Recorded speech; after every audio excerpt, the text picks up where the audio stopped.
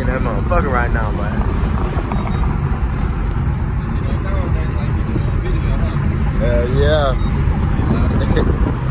NASCAR, NASCAR shit, man. My first time ever being on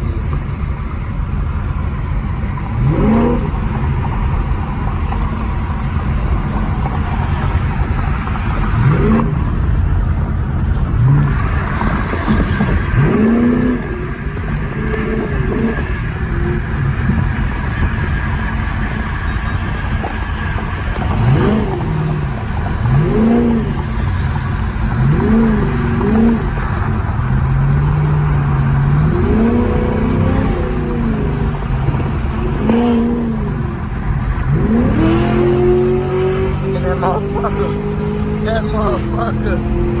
That motherfucker.